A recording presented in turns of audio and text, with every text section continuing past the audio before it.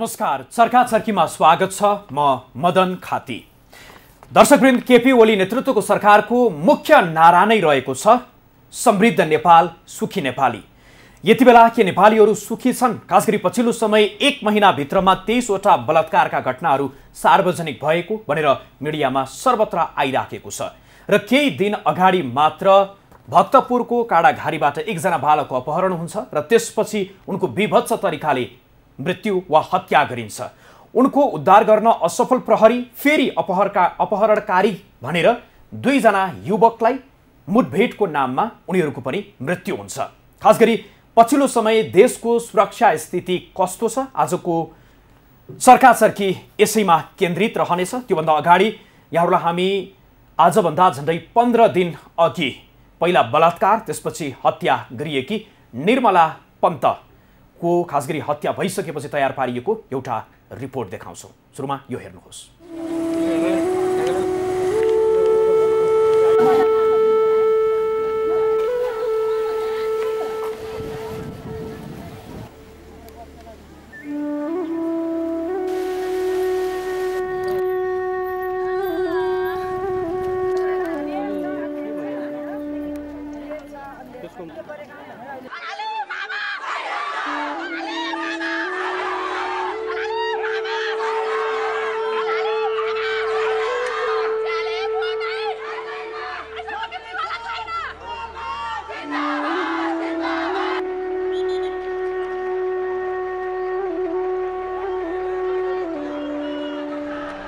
सरकारले बलात्कारीलाई खोजेर कारवाही गर्नुको साथो जनतालाई कारवाही गरेको छ।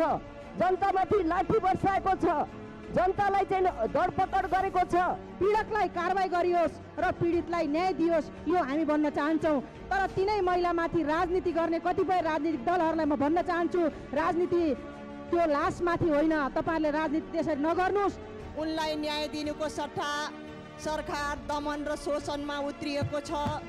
त्यसैले सम्मानित सदनमा म भन्न चाहन्छु।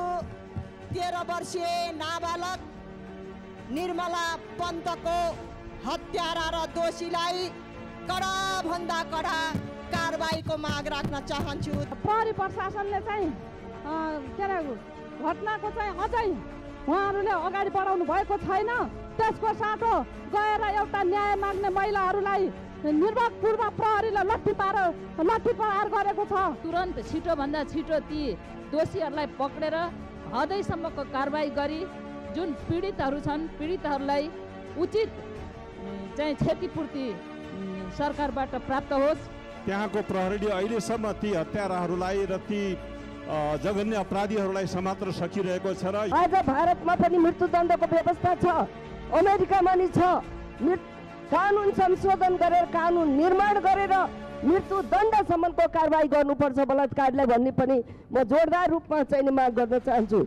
दर्शकवृन्द यो चर्का चर्की संसदमा थियो। निर्मला पन्तको हत्या भइसकेपछि खास गरी अपराधी पक्राउ नपरिसकेको अवस्थामा सांसदहरूको आक्रोश थियो। अहिलेसम्म पनि अप- अपराधी पक्राउ परिसकेको अवस्था छैन र यसको पछिल्लो अवस्था के छ?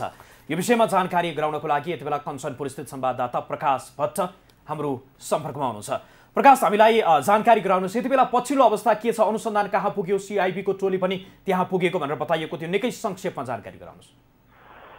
मदन आज हामी भर्खरै पनि यहाँको प्रवक्तासँग चाहिँ हामीले बसेर कुराकानी गरेका थियौँ। यो घटना कहाँसम्म पुग्यो? के भयो? कसो भयो? भन्ने कुरामा चाहिँ उहाँले भन्नुभएको छ यो घटना हामीले अनुसन्धान गरिरहेका छौँ। घटनाको क्रममा हामीले पचास साठीजना जति मान्छेलाई चाहिँ हामीले अनुसन्धान गरिसकेको अवस्था छ अहिलेसम्म कुनै पनि त्यस्तो हामीलाई सानो पनि एउटा पत्ता लागेको छैन।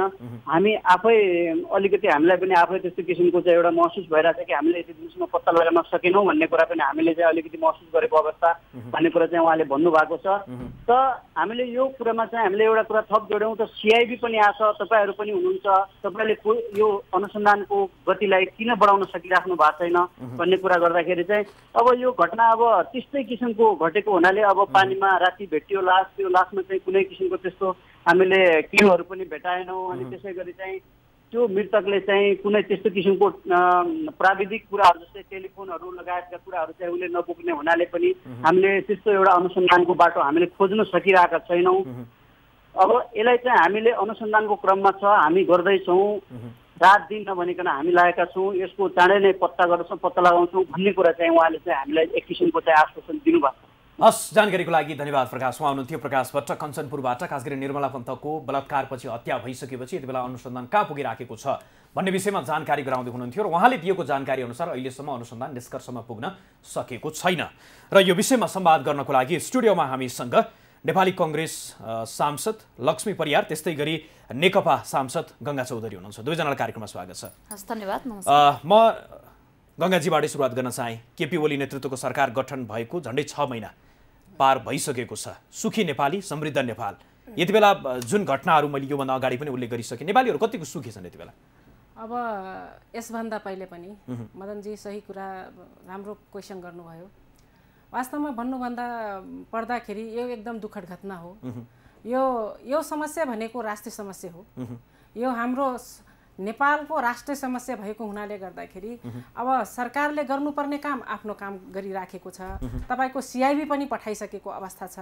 घटनाको प्रक्रिया अब हेर्दाखेरि अब त क्वेसन पनि हेर्नु सुनिसक्नुभयो। हामी त्यो घटनाको प्रक्रिया कुनै प्रुफहरू अब त्यो घटना भयो मान्छे मर्यो त्यो वास्तवमा एकदम दयनीय दुःख दुखी घटना नै हो। त्यस कारणले गर्दाखेरि यो चाहिँ यस्तो घटनाको अब सरकारले के के गरिराखेको छ भन्ने कुरा अब जोड्नु पर्दाखेरि आफ्नो कामहरू तीव्र रूपले अगाडि बढाइराखेको छ अनुसन्धान गरिराखेको छ। पक्कै पनि एक दिन आफ्नो यो काम चाहिँ सफल हुन्छ। लक्ष्मीजी उहाँले भन्नुभयो नि खास गरी घटना चाहिँ दुःखद हो तर सरकारले यो घटना घटिसकेपछि जे काम र प्रक्रिया अगाडि बढाइराखेका छ त्यसमा चाहिँ पर्याप्त छ त्यो? होइन जुन तदरुकता देखाउनु पर्थ्यो त्यो त- तदरुकता भएको छैन र सरकारले साँच्ची नै एउटा शीघ्र तरिकाले जुन अपराधीहरूलाई अनुसन्धान गर्ने पाटोलाई अलिक डह्रो बनाएको हो भनेदेखि अहिले यति लामो समयसम्म एउटा पीडितले पीडित परिवारले न्याय पाउने अवस्था हुन्थ्यो। र अहिले जुन यहाँले अघि जोड्दै गर्दाखेरि मलाई थोरै मन मलाई मनमा छोको अहिले जनताहरू सुखी बन्न चाहन्छन् समृद्धि बन्न चाहन्छन्। अहिलेको सरकारको नारा पनि सुखी नेपाली समृद्ध नेपाल। तर अहिले हामीले विभिन्न घटनामा यहाँले कञ्चनपुरको निर्मला पन्तको कुरा जोड्नुभयो त्यति मात्रै नभएर धेरै ठाउँमा अहिले नेपाली नागरिकहरू चाहिँ असुरक्षित भएको चाहिँ महसुस गरेका छन्। र अहिले जुन किसिमले निर्मला पन्तको विषयमा हामीले हेर्ने हो भनेदेखि यति धेरै ल्यान्दी भएर जाने अवस्था छैन। सरकारले यदि चाहने र पुलिस प्रशासनहरू एकदमै मनदेखि जाने हो भनेदेखि यसमा यति लामो समय लाग्दैन। मलाई जहाँसम्म लाग्छ यसमा केही व्यक्तिहरू केही त्यो त्यो खालको चाहिँ बाहिर ल्याउनै नहुने अथवा बाहिर ल्याउँदाखेरि चाहिँ असरै पर्ने खालका चाहिँ व्यक्तिहरूको चाहिँ चलखेल भएको हो कि जस्तो मलाई लाग्छ। त्यसैले यो जुन कस्ता कस्ता व्यक्तिहरूको संलग्नता भएको यसमा कारण? यसमा अहिले यो जुन हाम्रो संस्कार छ यो राजनीतिक संरक्षणका कुराहरू होइन अघि यहाँले रिपोर्ट देखाउँदाखेरि पनि हामीले केही कुरा चाहिँ मैले पनि सुने। हामी संसदभित्रै बस्दाखेरि पनि यो लासको राजनीतिको कुराहरू केही मान्यज्यूहरूले उठाउनु भएको छ। तर मलाई जहाँसम्म लासको भन्दाखेरि पनि जिउँदो लासमा चाहिँ राजनीति हुँदैछ कि जस्तो मलाई लागेको छ। होइन हो। भनेदेखि गङ्गाजी के हो विषय? उहाँले भन्नुभयो उहाँले भनेको कुरा कतिपय अब तपाईँको यो सन्दर्भमा पीडितले न्याय पाउनुपर्छ। तर लासमाथि राजनीति गर्नु हुँदैन भन्ने कुरा। जस्तै उहाँले अर्को कुरा अब कुनै व्यक्तिहरू त्यो उसमा राजनीति अब गरिराखेको राजनीति। कसरी भयो? जस्तो एकजना बालिकाको बलात्कारपछि निधन हुन्छ। यो विषयमा कारवाही हुनुपर्छ भन्दाखेरि। योभन्दा पहिले अब प्रतिपक्षकै कुरा गरौँ। के यो योभन्दा पहिले के प्रतिपक्षको पालामा बलात्कारको घटनाहरू घटेन? विधान समितिको सभापति हुँदाखेरि ठ्याक्कै त्यतिखेर देउबा सरकारको नेतृत्व थियो हेर्नुहोस् सुशील कोइरालाको नेतृत्वको सरकार थियो। त्यतिखेर पूजा बोहरा पश्चिमकै दो डोटी जिल्लाकै थिइन्। दार्चु दार्चुला भनेपछि हाम्रो सात नम्बर प्रदेशकै एरिया पर्यो। त्यतिखेर पूजा बोहराको केस जबकि मेरो टेबलमा आइपुग्दाखेरि उनले न्याय किन पाएन। जबकि सरकारले गर्ने काम गरिराखेको छ। हामी समृद्ध नेपाली र सम- समृद्ध नेपाल र सुखी नेपाली देख्न चाहन्छौँ भनेपछि तपाईँको सरकारले गर्ने कामहरू गरिराखेको छ। भर्खरै पनि त्यतिखेर हामीले आवाज उठाएका थियौँ। महिला दिदीबहिनीहरूले पनि आवाज उठाएका थिए कि केही नेपालीयन संशोधन गर्न र खारिज गर्न बनेको विधेयकमा हाम्रो यो मापदण्ड तोकेर तपाईँको कुरा उठेको थियो सर्वोच्च जन्मकैद पनि मृत्युदण्ड पनि फाँसी पनि यस्तो कुरा उठिराखेको छ।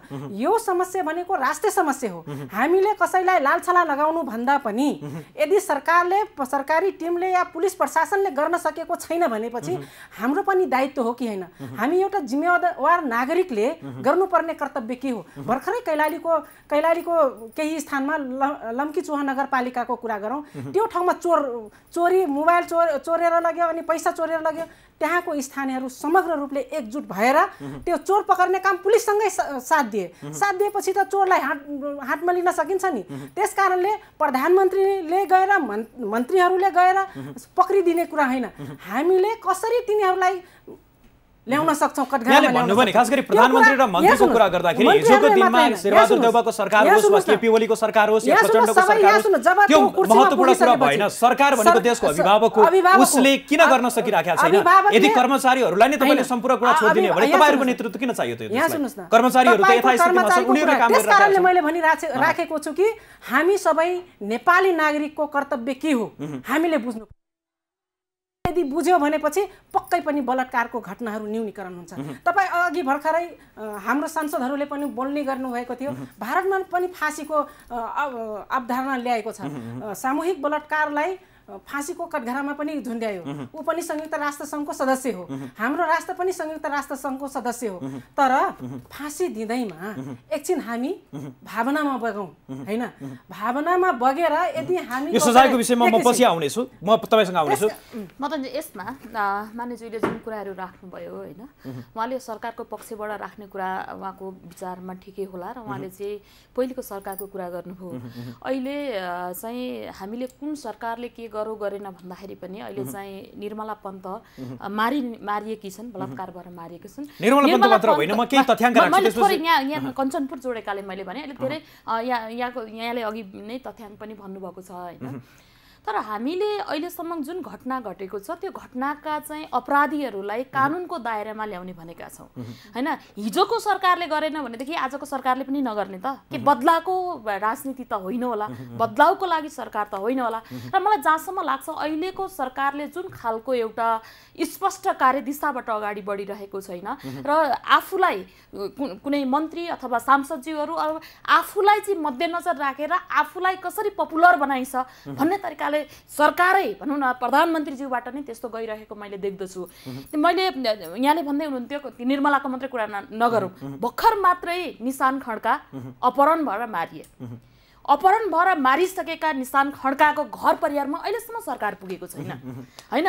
उहाँको निशान खड्काको भन्दा अगाडि म यहाँलाई? जस्तो कञ्चनपुरको घटना भयो त्यस्तै गरी छब्बिस असारमा कृष्णपुर नगरपालिका आठ शान्तिपुरकी सत्र वर्षीय कविता विष्टको बलात्कार पछि हत्या त्यस्तै गरी तिस असारमा काभ्रेको तेमाल गाउँपालिका एक स्थित गुम्बा परिसरमा नौ वर्षीय एलिसा तामाङको बलात्कारपछि हत्या।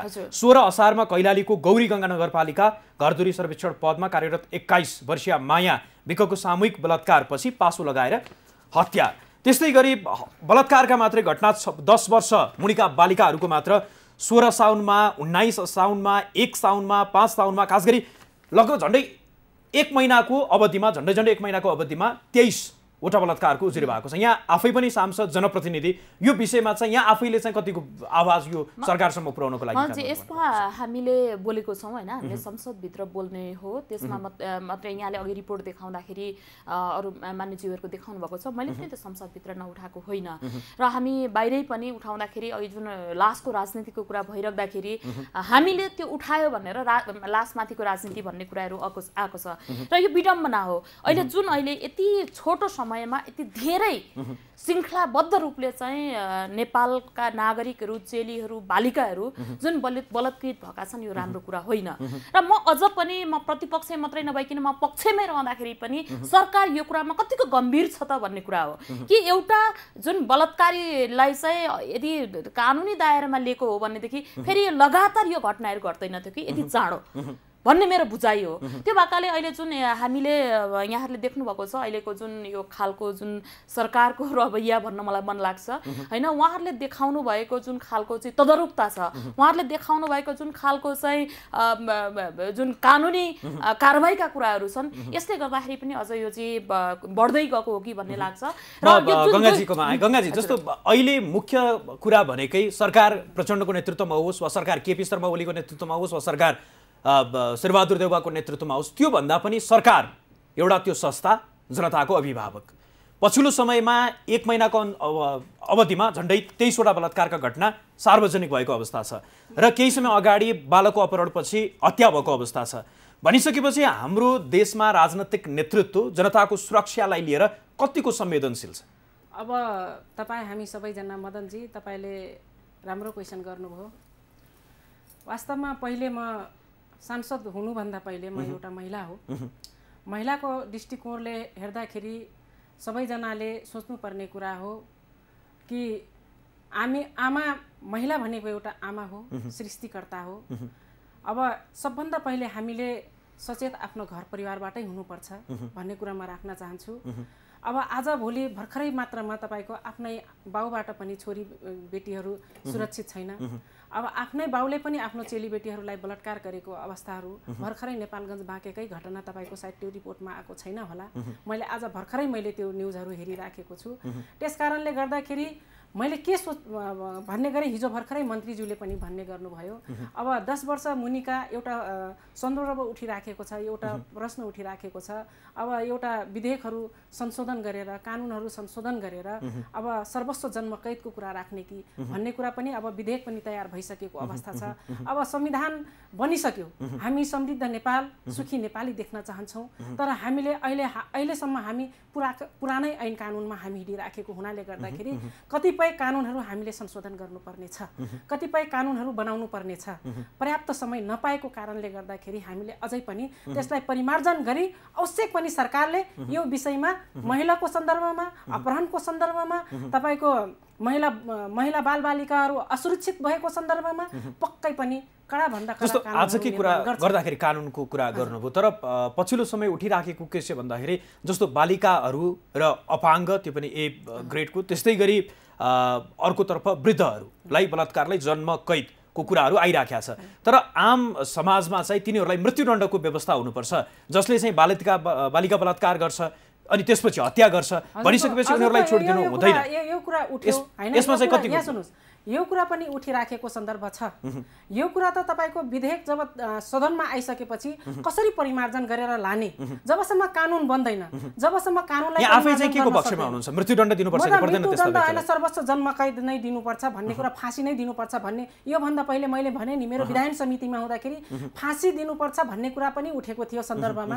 त्यस कारणले गर्दाखेरि मैले अघि पनि कुरा गरेँ तपाईँको भावनामा एकछिन बगेर फाँसीको सजाय नै राखौँ।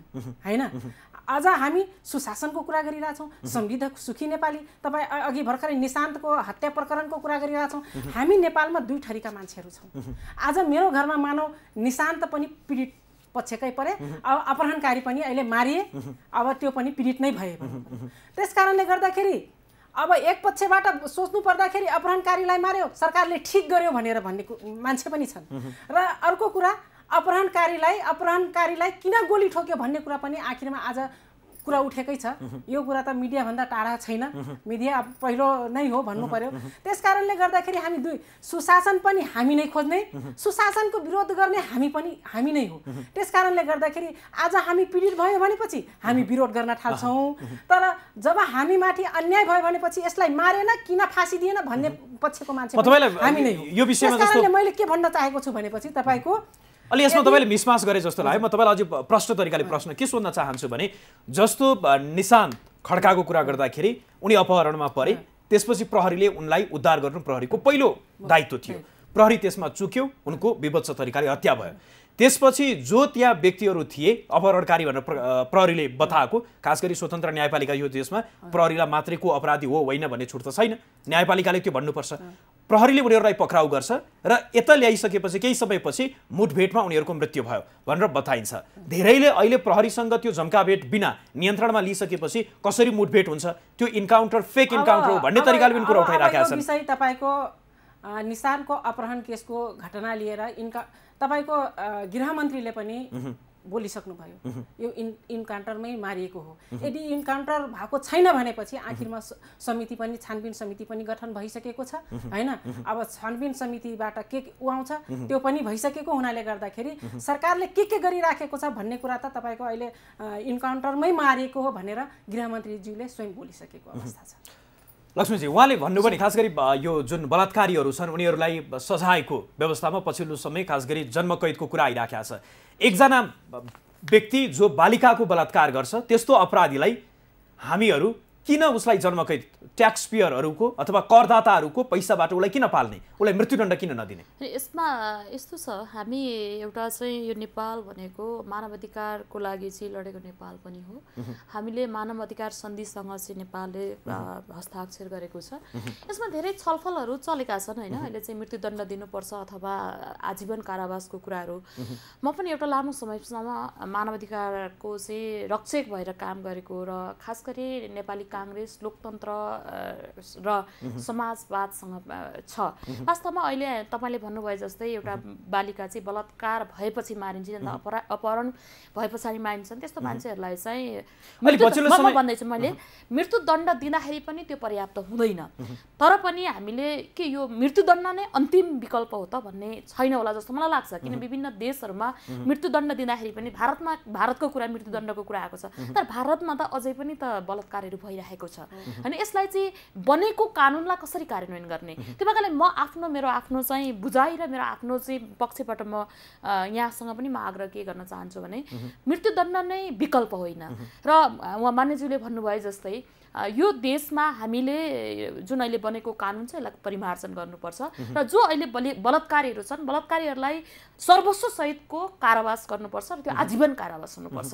जसले गर्दा तर पर यसैमा सुन यसमा चाहिँ कारावास भयो तर आफ्नो मान्छे छ भनेदेखि उम्कायो भनेदेखि त यो त कुनै राम्रो हुँदैन। मृत्युदण्डकै कुरा गर्दाखेरि पनि मृत्युदण्डको कुरा चाहिँ छ कानुनमा लेखेको छ। तर आफ्नो मान्छे भनेर उम्काइन्छ भनेदेखि त मृत्युदण्ड लेखे पनि त हुँदैन नि। त्यो भएकाले कानुनमा भएको कुराहरूलाई चाहिँ हामीले कार्यान्वयन गर्ने कुरा हो। त्यो भएकाले म चाहिँ छलफलमा भाग लिन अथवा हरेक ठाउँमा मेरो आफ्नो बुझाइ र मेरो भनाइ के छ भने जसले बलात्कार गरेर अपराध गरेको छ त्यस्तो व्यक्तिलाई उसको सर्वस्व हरण सहितको आजीवन कारावास हुनुपर्छ ताकि उसले त्यो ठाउँमा बसेर पनि मैले ठुलो गल्ती गरेको रहेछु भनेर आउँदा दिनहरूमा अरू व्यक्तिहरूलाई चाहिँ त्यसले चाहिँ पाठ सिक्न सक्छ। अर्कोतर्फ जुन पछिल्लो समय इन्काउन्टरको कुरा आइराखेको छ नि यसमा चाहिँ नेपाली कङ्ग्रेसको धारणा के हो? यो फेक वा रियल भन्नेमा यहाँहरूले कसरी? यसमा यस्तो छ? भने चाहिँ अब खासमा जुन खालको घटना घट्यो र त्यो घटनाको प्रकृति हेर्दाखेरि चाहिँ यो फेक नै हो भनेर धेरै मान्छेहरूले पनि भनेका छन्। हामीले पनि बुझ्दाखेरि जुन अपहरण भयो अपहरण भइसकेपछि बच्चा मारियो। बच्चा मारेर त्यो घरमै गइसकेर चाहिँ अपराधीहरूलाई चाहिँ भेटिसके। भेटेर यसो यसो यसरी मारेको भनेर मारेकै ठाउँमा गएर चाहिँ निशानको लासलाई देखिसके पछाडि त्यो जङ्गलमा गएर खेदेर मारेको जस्तो देखिँदैन। यो प्रकृति हेर्दाखेरि इन्काउन्टर होइन जस्तो मलाई लाग्छ।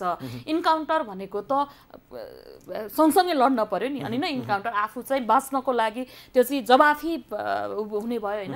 त्यो भएकाले जुन यो जुन खालको चाहिँ यो प्रक्रिया छ अथवा जुन खालको यो प्रकरण छ यो राम्रो कुरा होइन। र वास्तवमा अहिले जुन मानवाधिकार आयोगले पनि मानवाधिकार आयोगमा पनि अहिलेका जुन इन्काउन्टर भनिएका गोपालका आमा गोपाल र अर्को उहाँको चाहिँ आमा बुवाहरू गएर उहाँहरूले छानबिनको माग गर्नुभएको छ। तर अहिले गृहमन्त्रीज्यूले यो फेक होइन भनेर भन्नुभएको छ। तर एकातर्फ मलाई जहाँसम्म गृहमन्त्रीज्यूले लाग्छ- म यो- भन्दैछु यसमा। कुरा, यसैमा म- यसैमा म एकैछिन भन्दैछु मानिलिनु, बसिदिउँ, हजुर। एकैछिन एकैछिन म जोड्न चाहन्छु।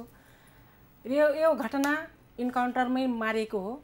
किनकि उहाँ उनीहरूसँग पिस्टोल पनि भेटाइएको अवस्था छ।